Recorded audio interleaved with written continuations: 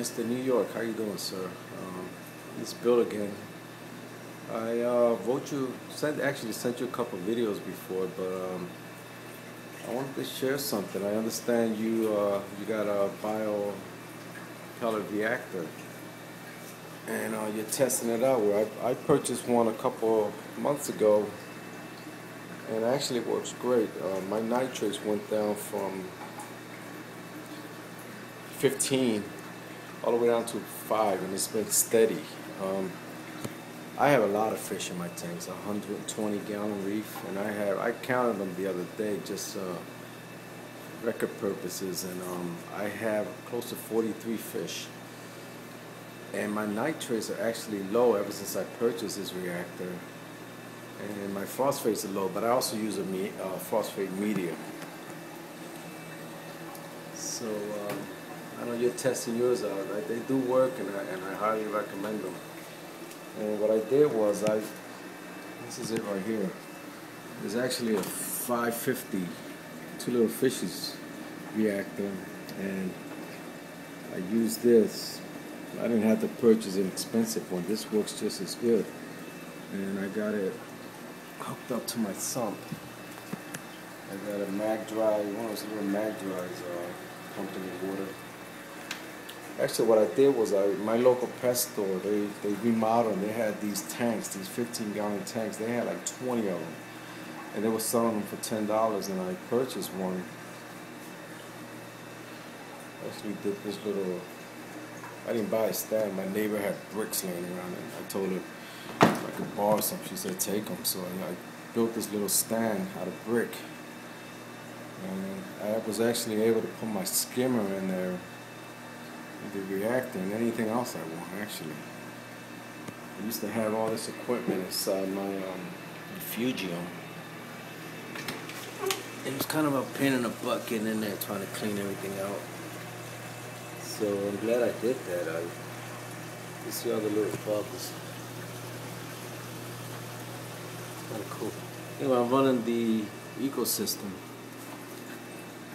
So um, kind of did this little thing here my wife didn't like it at first, but I got that little telescope in the IT shop, and it kind of like blended in pretty cool. But anyway, bioreactors, it's actually working great. My nitrates are real low, my phosphates are low. I haven't lost any fish. I actually have a whole bunch of healthy fish.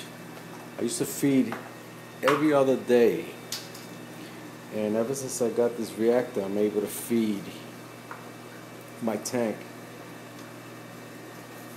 about two or three times a day.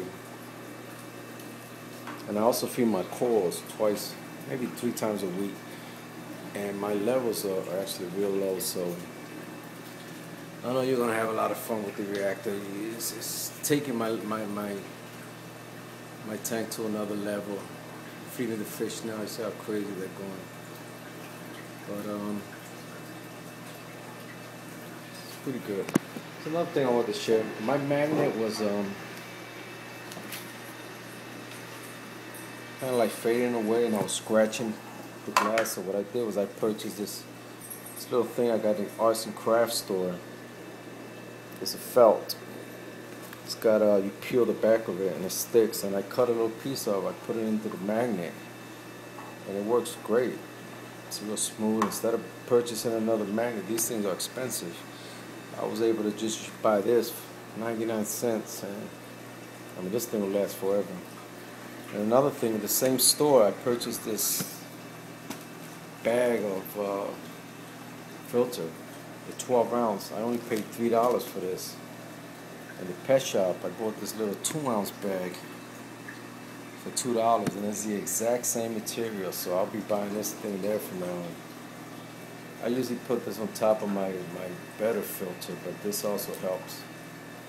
But anyway I hope this uh, has been helpful um, and I can't wait to find out how your lights are doing, the LEDs. I'm also running LEDs. I haven't had any problems with them. My electricity went down a lot but this is it for now. Hope you get this video. See you soon.